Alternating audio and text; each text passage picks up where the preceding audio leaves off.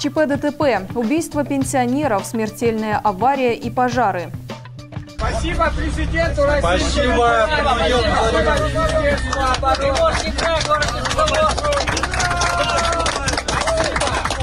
Бурятские бойцы вернулись из плена.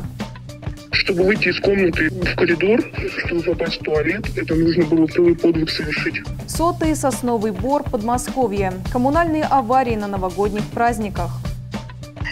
Если сейчас речку не прорубить, э, русло не дать ей, то мы утонем. Мы плывем и плывем. В Бурятии село топит наледными водами. Улан-Удэ против Иркутска. Финал Кубка города по мини-футболу.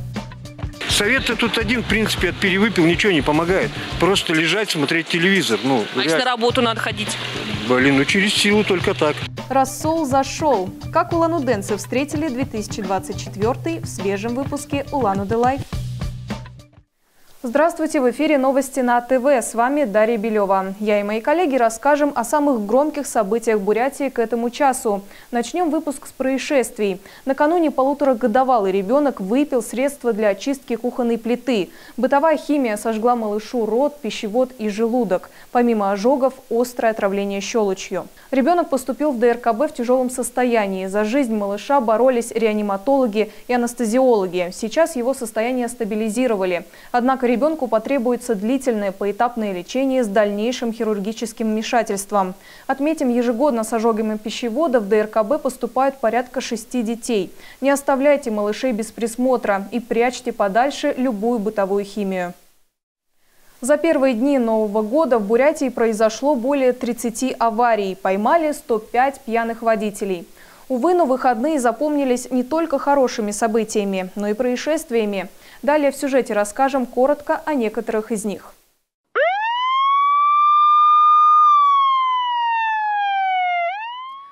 В Бурятии убили двух пенсионеров. Это произошло в Закаменске в их собственной квартире. РНТВ рассказали, тела 70-летнего мужчины и 69-летней женщины обнаружил их зять. Возбуждено уголовное дело.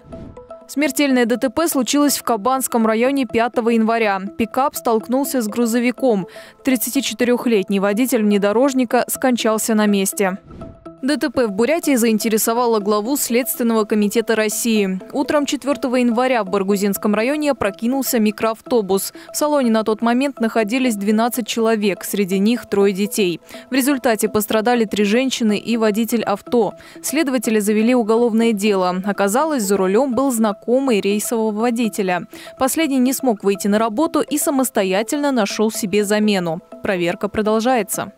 В новогоднюю ночь жертвой петарды стал маленький мальчик. Она взорвалась и прилетела ему в глаз. В ДРКБ ребенку сделали операцию. Сейчас его состояние стабильное. При необходимости мальчика направят в федеральный центр для дальнейшего лечения.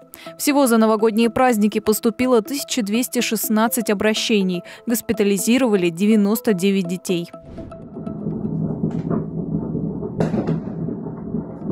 Праздничный салют чуть не стал причиной пожара. На балкон к улан-удэнцам прилетел фейерверк. Возгорание произошло на двух квадратных метрах. Никто не пострадал. Другой пожар случился в доме на улице Кабанская. Там загорелась искусственная елка. Пришлось эвакуировать около 20 человек. Обошлось также без пострадавших.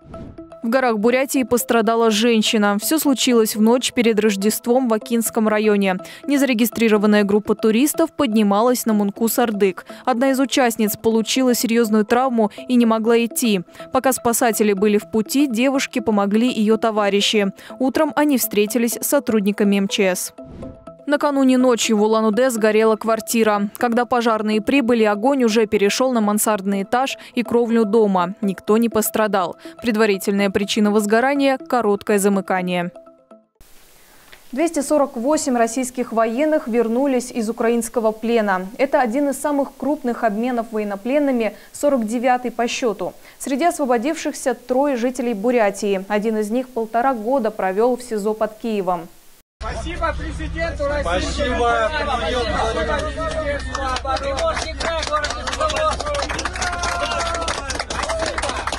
Это видео от 3 января. Борт с российскими военнослужащими приземлился в Подмосковье. Обмен состоялся после долгих переговоров и при посредничестве Объединенных Арабских Эмиратов.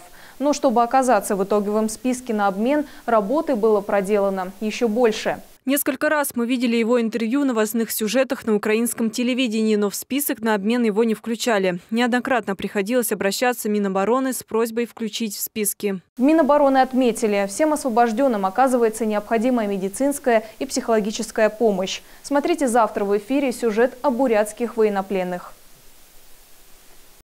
К концу новогодних каникул не хватило тепла жителям Октябрьского района. Виной тому стала очередная коммунальная авария. Несколько жилых домов и соцобъектов почти на 7 часов остались без отопления. Сегодня там ситуация повторилась. Изношенные коммунальные сети города со скрипом входят в Новый год. Тему продолжит Алина Котова. Накануне без тепла остались пять жилых домов в 148-м микрорайоне, детсад «Золушка», амбулатория, пожарная часть и моторостроительный завод. Сбой дала котельная на четвертом километре спиртзаводской трассы. Причиной отключения стал порыв на головном стволе. На месте аварии работала аварийная бригада. Проводились работы по перекрытию и опустошению аварийного участка. В результате выполненных работ в 19.14 параметры теплоносителя от котельной вышли на соответствие заданным. Сегодня аварийная ситуация повторилась. В 12.30 сотрудники обнаружили течь перемычки. На устранение потребовалось чуть больше часа. К двум часам дня котельная заработала в штатном режиме.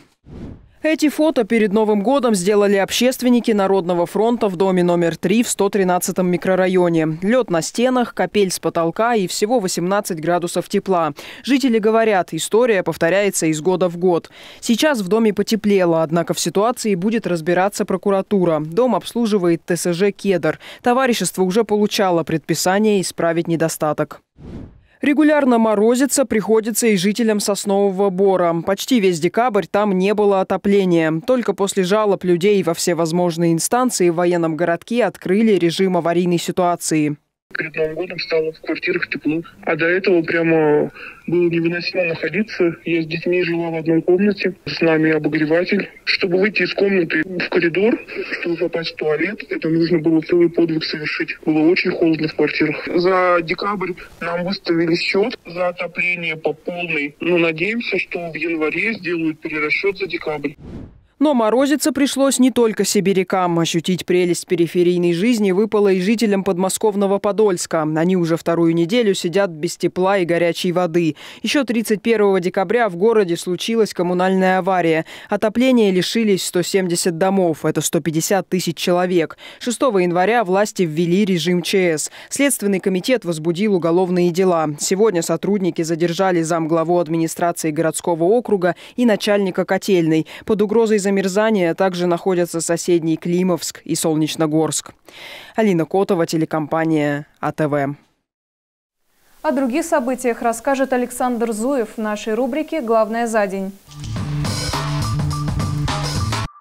Пенсионерка из Улан-Удэ отсудила 450 тысяч рублей у крупного застройщика. Женщина – собственник аварийного жилья на улице Цивилева. Деревянный барак подлежит сносу. На месте компания Best Plus должна построить многоэтажный дом. Как оказалось, не все собственники получили от фирмы выкупную стоимость жилья. Организация была обязана выплатить пенсионерке выкупную стоимость недвижимого имущества в апреле 2022 года. Однако денежные средства не выплачены заявителю в определенный срок. В целях защиты прав женщины прокурор района направил суд исковое заявление о взыскании выкупной стоимости жилья и процентов за неисполнение денежных обязательств. Как сообщили в прокуратуре, выкупную стоимость жилья пострадавшей уже перечислили, плюс суд обязал застройщика выплатить в качестве компенсации упомянутые ранее 450 тысяч рублей.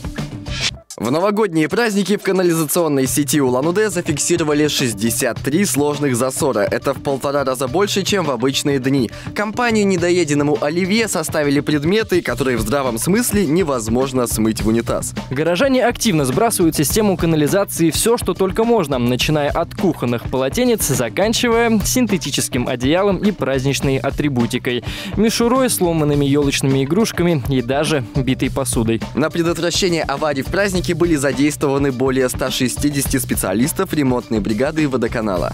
Автостопом по железной дороге решил добраться до дома Улан-Удэнец. Мужчина оказался непритязательным и выбрал место не в плацкартном и не в общем вагоне, а в вагоне с углем.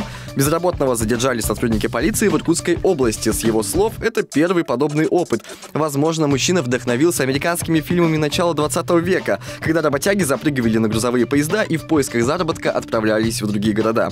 Мужчине грозит штраф от 2 до 4 тысяч рублей. Владимир Путин исполнил мечту восьмилетней девочки из Сахалинской области. Кристина мечтала увидеть Байкал. У ребенка серьезное заболевание, слабый иммунитет. На ежегодной акции «Елка желаний» президент случайно выбрал трех счастливчиков, в числе которых она оказалась. Кристина Син, 8 лет, мечтает побывать на озере Байкал. Кто занимается этим? Желание исполнилось. Кристине с родителями провели экскурсию по селу Листвянка, показали нерпинарий и свозили в музей. Девочка осталась довольна. Байкал, привет! Я счастлива! Ура!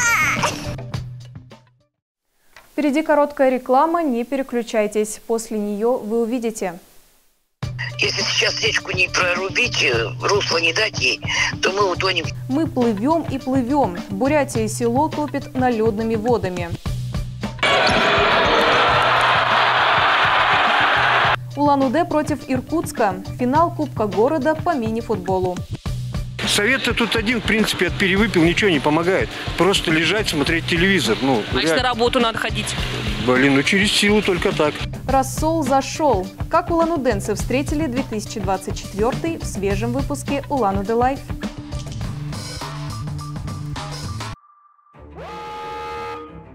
Каждые пять секунд слепнет один взрослый человек. Каждую минуту один ребенок. 80% случаев нарушения зрения можно предотвратить. А вы проверили зрение? Проверьте зрение сейчас. Ваша оптика ССЭК. Продолжаем выпуск. Мы плывем и плывем. Жители села Старая Брянь в Заиграевском районе бьют тревогу. Их дворы, дороги и подсобные хозяйства топят наледными водами. Стихия уже подбирается к домам местных жителей. Подробности в следующем сюжете. Вот завтра уже корову не выгоним сюда. Все, огород затопило. Там соседи тоже, он подходит вода. Дворы, огороды и дороги в селе Старая Брянь сейчас больше похожи на сплошной каток. Еще на прошлой неделе местные жители стали бить тревогу. Позже выход наледных вод объяснили резким понижением температуры. Вот нас два дома сильно топит. А дальше туда от нас, как ниже вниз речка идет, тоже у людей уже к сеновалам подходит вода. Вот 20 числа налить-то пошла уже. Надо было тогда уже тревогу бить. Все ключи проснулись, бьют. Такого не было у нас 20 лет, наверное. Мы плывем и плывем. Дальше-то река никак не проходит. Она здесь все к нам поднимается, поднимается. Если сейчас речку не прорубить, э, русло не дать ей, то мы утонем. Бороться с большой водой жители пытались своими силами, но не вышло. Потопление угрожает и другим селам. Сегодня налить вышла на трассе Шабур-Саганнур. Там сделали объездную дорогу. Что касается Старой Бряни, администрация района и ГОИЧС создали рабочую группу. На сегодняшний день проведена работа по перекрытию русел рек Шабурка и Кокетейка, которые находятся вверху по течению от села Старая Брянь. Таким образом, мы добились того, что вода выше закипела и давление снизилось. Чтобы определить течение русла реки и отвести наледные воды, вниз по течению проводится пропил льда. Мониторинг уровня воды продолжается. Дарья Белева, телекомпания АТВ. 25-й маршрут вернется на улицы Улан-Удэ. Первые два автобуса запустят уже завтра, 10 января. Правда, работать он будет по укороченной схеме. Стартовая точка осталась прежней – улица Водопадная в микрорайоне Шишковка. А вот конечная остановка станет АЗС «Роснефть» на улице Гоголя в микрорайоне Батарейка. Такая схема увеличит оборотные рейсы, не будет дублирования действующих маршрутов и большой нагрузки на улично-дорожную сеть. Обслуживать его будут МУП «Городские маршруты». Расписание схемы движения вы видите на экране. К новостям спорта. В празднике в столице Бурятии отгремел международный турнир по мини-футболу Кубок города Улан-Удэ. 20 сильнейших команд из четырех стран на протяжении пяти дней выясняли, кто лучше. В финале и полуфинале встретились команды из Улан-Удэ и Иркутска. Подробности у Антона Симонова.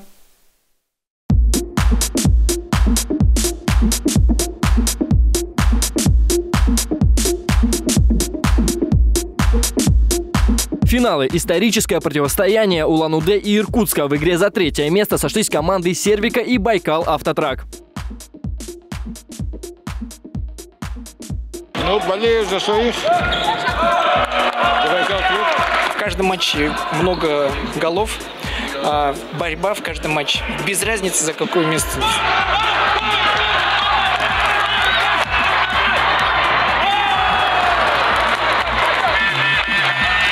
Хороший матч, боевая игра. 1-0 пока по счету, ничего страшного. Еще впереди много времени, равная игра, так что все второй тайм покажет. Хороший настрой, что выиграть, третье место, игру выиграть. Порадовать болельщиков, видите, сколько народа пришло. Болеют за нас, поддерживают, так что будем там победу играть. Только. Практически весь второй тайм прошел у ворот Сервика. Байкал Автотрак ушли в нападение. Вратаря поменяли на пятого игрока в поле, однако порадовать болельщиков не удалось. Итог 1-0. Не хватило элементарного забитых голов.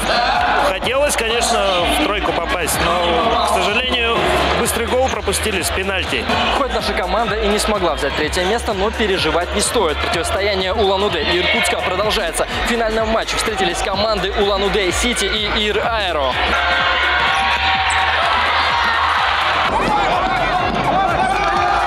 Матч начался не в пользу нашей команды. Первый тайм закончился со счетом 2-1.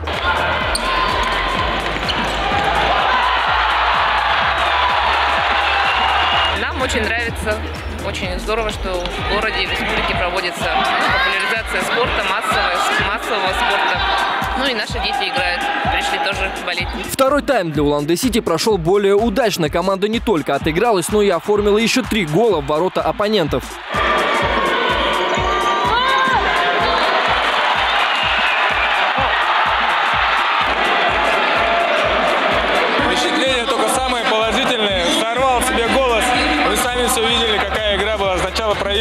Парни сегодня отдали полностью себя.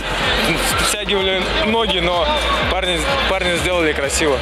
Итог встреч такой. Третье место заняла команда из Иркутска – Сервика. Серебро также за иркутянами – Ир Аэро. Победителем же турнира стал наш клуб Улан-Удэ Сити. Спустя 6 лет они вернули переходящий кубок на родину. Примечательно, лучшим бомбардиром турнира стал Александр Давыдов из Байкал Автотрак. Он же забрал себе золотой мяч. Лучшим вратарем признали Сергея Викулова из Улан-Удэ Сити. Отличился он не только как хороший голкипер, но и как автор двух голов в финальном матче. Если вы не смогли посетить финальные матчи турнира, не расстраивайтесь. Трансляцию игр вы можете посмотреть на нашем YouTube-канале. QR-код на экране. Возрастное ограничение 0+. Антон Симонов, Александр Семенов, телекомпания АТВ.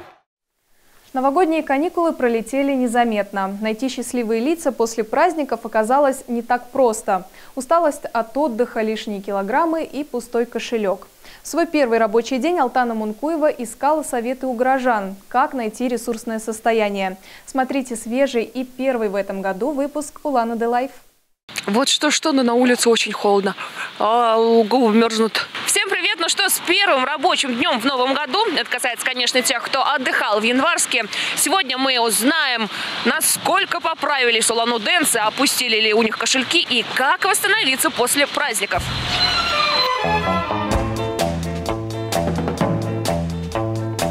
Ваше настроение? Ой, замерзла. Как восстановиться после праздников? Вот как войти в рабочий режим? Ну, мы не пьем же, у нас все хорошо. Я не отстану, пока вы не ответите. А, вы в наушниках музыку слушаете. Угу. Думала, ударит меня. Вы себя как поднимаете с утра? Вот сегодня как подняли? Еле как. С Новым годом! Вы откуда или куда? Мы и аппаратура замерзли, поэтому будем снимать в торговом центре. Что делали 8 дней 2024 года? Ничего, только приехал. Откуда? С Якутска. А? Якутска. Вы якут? Единственный праздник в году, вот я, я всегда говорю жене своей, да, что единственный праздник в году. Ваш у день меня- рождения. Да, мой день рождения, все. В Якутии какое главное блюдо на новогоднем столе? Э, Главное блюдо? Не знаю. Я сам... Не, погодите, кто якут-то, я или вы? Я не, не переедаю. Вот это вы молодец. То А есть- вот я, да, например. Ну, Три килограмма, между прочим, я, за неделю. Я не знаю, что с этим делать. Я сам все съем что угодно. Номер оставь, я тебя к своей матери буду отправлять. А, Только сегодня делаю- действует акция. Позовите меня, я помогу вам. Застолье, съесть новогодние салатики. Все, что не съем, заберу с собой. Записывайте номер. Реально телефон купил новый? Умничка, дорогой. Просто да, я могу лишнего выпить, наверное, но чтобы переесть... Вот у нас буза, а у вас что-то подобное есть? э, У нас Легче перевыпить или переесть? переесть. На самом деле, как это? Не, вы точно якут? Совет-то тут один, в принципе, от перевыпил ничего не помогает. Просто лежать, смотреть телевизор. Ну, А если на реально. работу надо ходить? Блин, ну через силу только так. Ну, я, я вот говорю, хотя мне говорят, там, рассол помогает, еще ничего не помогает вообще. Ваш компаньон на час. 120. 120 тысяч рублей на телефон. Ты, мой хороший, как ты на него заработал? Ты спаси- поделись секретом, пожалуйста. Работаю супервайзером. И если переел, тоже лежать, наверное. Не, ну чтобы это все переварилось. Ты перележал. Ну, перележал уже, надо подниматься. Так ты здесь всегда, да, сидишь? Если что, я подойду потом к тебе. Ага, все, давай. Я сам учитель физкультуры просто, да? Да, и я поэтому... Мой секрет восстановления – позитивно мыслить, обуздать аппетит и ставить легкие цели, достигать их и от этого получать удовольствие. А вот кому-то из вас и пригодится. На этом у меня все. С вами были Алтана Мункуева, Александр Семенов, телекомпания АТВ. На этом сегодня все. Больше интересных новостей вы найдете в соцсетях АТВ. На экране QR-код для перехода в наш телеграм-канал. Обязательно подписывайтесь. С вами была Дарья Белева. Хорошего начала недели и до встречи в эфире. В Улан-Удэ Стальмост требуется электросварщик, термист, резьбонарезчик, слесарь-электрик по ремонту оборудования, токарь, машинист мостового крана, станочник широкого профиля, наладчик оборудования, слесарь-ремонтник, мастер цеха, машинист компрессорных установок, инженер-конструктор, технолог, менеджер коммерческого отдела, юрист. Телефон 505 505, добавочный 105, а также 8 991 426 87 19. Стань частью нашей команды.